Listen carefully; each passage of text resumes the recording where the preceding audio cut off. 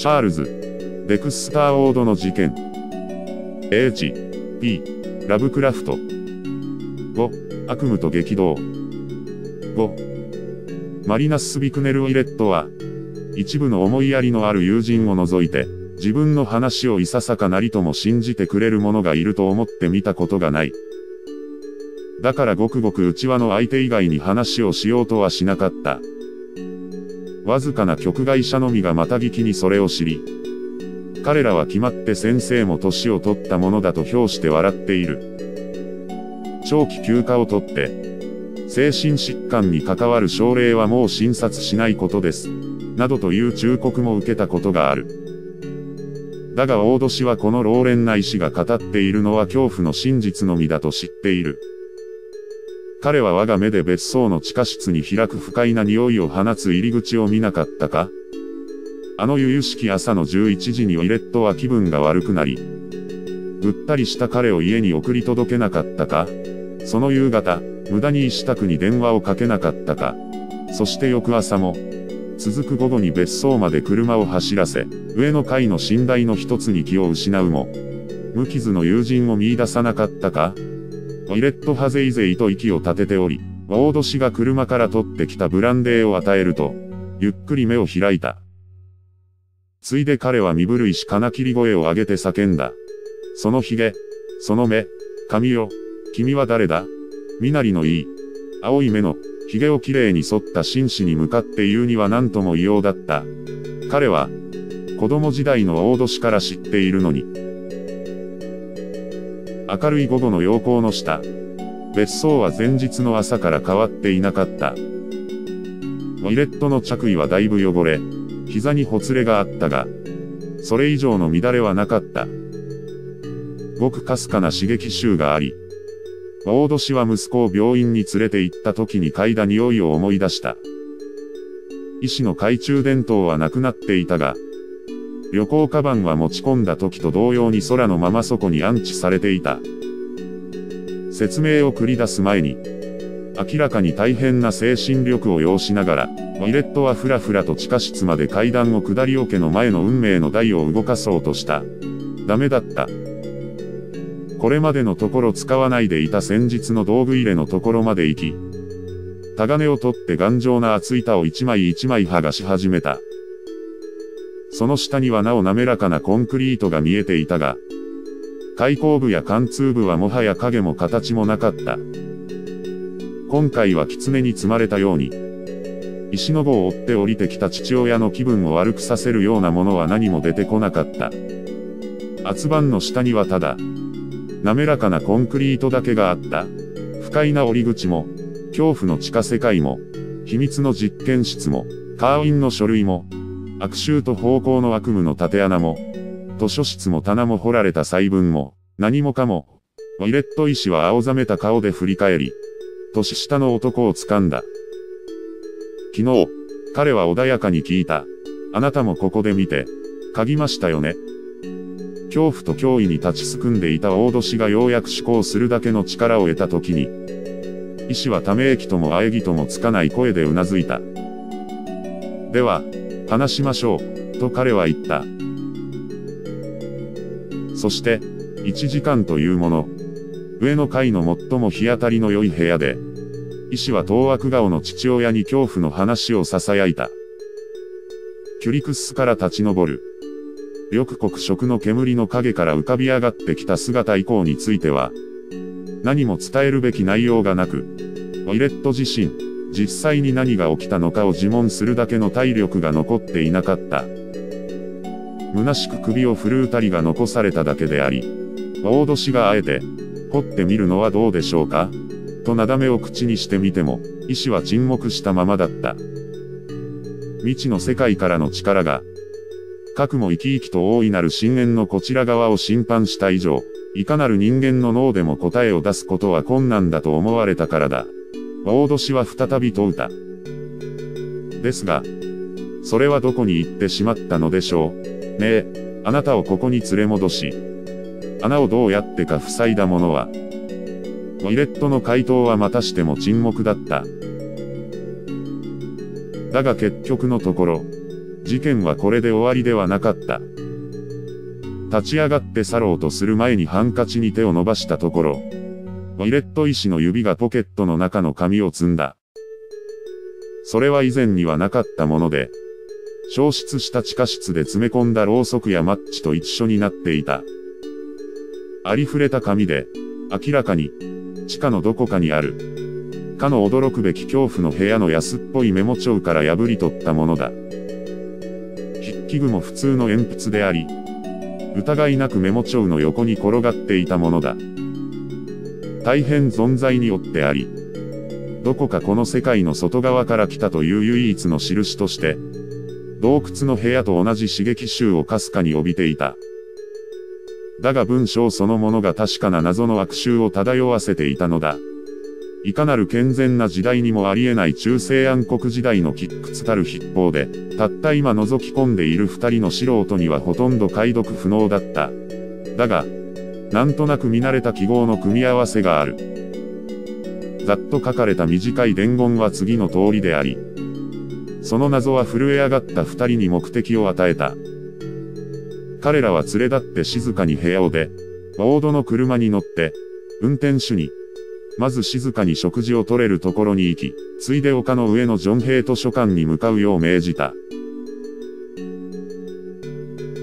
図書館では優れた古書体の手引き書をたやすく見つけることができ、二人は夕暮れの光が大きなシャンデリアから輝き出すまで懸命にそれらに取り組んだ。とうとう彼らは必要なものを見つけ出した。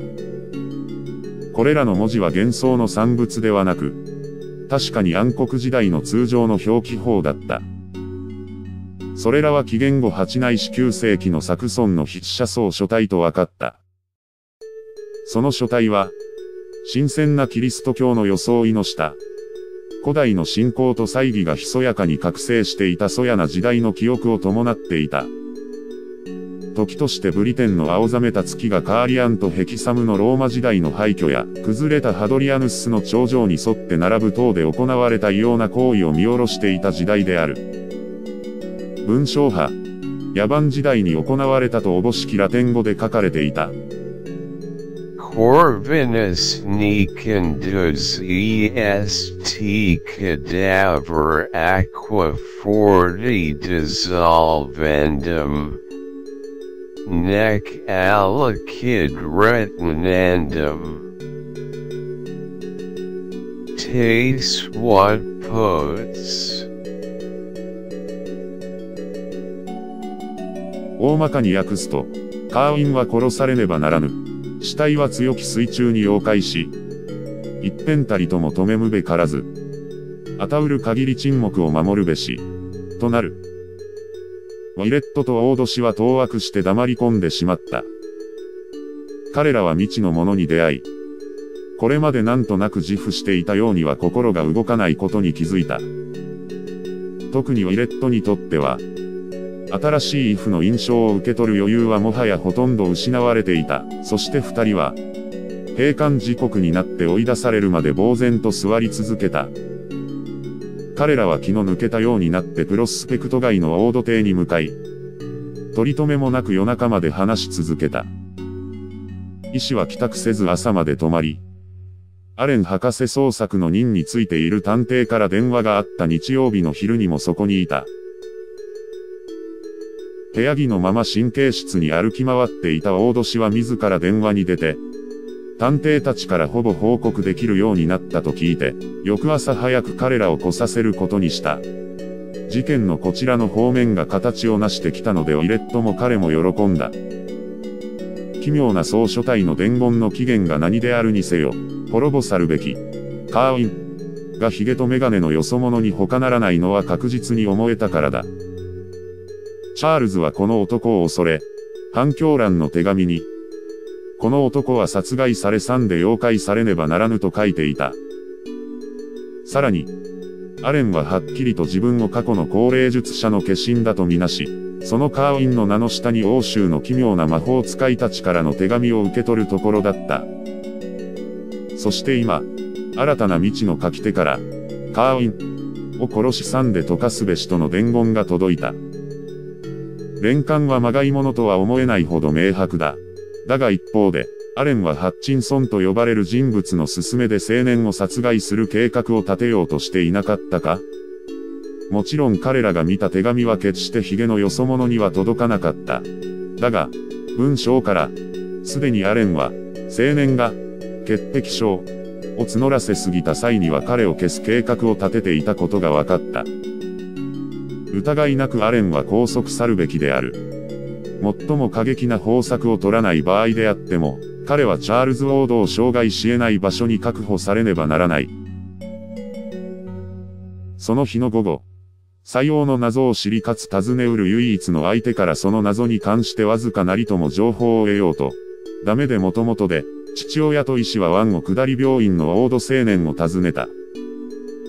簡潔かつ早朝にウィレットは自らの発見したことを全て告げ、一つ一つの描写が発見の事実なることを確認するごとに青ざめていくかの顔色に注意した。医師は可能な限り劇的な効果を狙い、縦穴の剣とその中の名城しがたき合成体に話が及んだ時、チャールズの側がどのようにたじろぐかを見ていた。だが、ウォードは顔をしかめなかった。ウィレットは一息入れ、その声に怒りの色を濃くしながら、いかにそれらのものが飢えていたかを話した。彼は衝撃的な非人間性だと青年を咎め、それに対して嘲笑だけが帰ってきた時、震え上がった。というのも、地下室がないなどという無用な嘘を振り捨てたチャールズは、この件からゾッとするような冗談を見出したらしく、何が面白いのかしゃがれ声でクスクス笑ったからだ。そして彼は囁いた。割れた声のせいで、抑揚の恐ろしさが倍化していた。くそったれどもめ。あいつらは確かに食いますよ。だが、その必要はなくてね。大したことじゃないさ。1ヶ月と言いましたっけ餌なしに。へえ、先生。これはおつつましやかなことで、お高いイバリアの哀れなローイップルを物笑いの種にしましょうや。皆殺しにしたとか言って、何？クソ。奴は異界の物音について半分はツンボだったし、穴蔵のものを見ることも聞くことも当わなかったのです。奴はそこに何かがいると思っても見なかった。悪魔にさらわれろ。あいつら呪われし者どもは、100と57年前カーウィンがやられて以来ずっとわめき続けているのですよ。しかし、ウィレットはこれ以上青年から聞き出せなかった。恐怖のどん底に落ち、だがほとんど自分の意志に逆らって、彼は話を続けた。出来事のどれかが聞き手を驚かし、依然として保っている狂気の平静ぶりから炙り出せるといいと望みながら、青年の顔を見て、医師は最近の数ヶ月がもたらした変化について一種の恐怖を覚えないではいられなかった。誠に、彼は名城しがたき恐怖を天空から引き下ろしたのだ。細分が掘られた部屋と緑っぽい塵に話が及ぶと、チャールズは初めて動揺を示した。メモ帳の文字を読んだとイレットから聞くと、当惑の色が顔に広がり、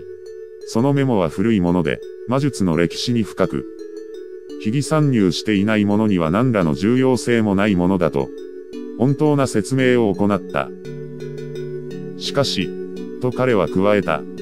僕が灰の中に取り出しておいたものを呼び起こす呪文の一つも知っていれば、あなたがここに来て僕と話すことはなかったでしょう。あれは118番。もし他の部屋にある目録をご覧になったら、あなたもゾッとしたことでしょうね。あれはまだ呼び起こしたことがなく、あの日僕が準備をしていたところにあなた方が連れに来たのです。そこでオイレットは自分が唱えた細文と、立ち上った緑黒色の煙のことを語った。そうしている間、彼はチャールズ、ウォードの顔に初めて真の恐怖が現れるのを見た。それが来た。で、あなたが生きてここに。しわがれ声で話すにつれて、ウォードの声は首輝を逃れて爆発し、不気味な反響を持って地下洞窟の深淵へと沈み込んでいった。一瞬の霊感に恵まれたオイレットは状況を見て取ったと信じ、記憶していた手紙の注意書きを織り込んで返答した。118番と言ったね。だが忘れてはいけないよ。今では墓地10機の内9機は墓石が変わってしまい、質問してみるまでは確認することができないということを、そしていきなり、総書体の伝言を取り出して患者の眼前にひらめかせた。それはこれ以上は望めないほどの結果をもたらした。チャールズ。ウォードはその場で失神してしまったからだ。もちろんのこと。この会話はすべてごく内密に行われた。強靭の幻想を強化したと父親及び医師が精神科研修医に咎められないようにである。ウィレット医師とオード氏は、また、苦しそうな青年を助けを借りずに担ぎ上げ、長椅子の上に乗せた。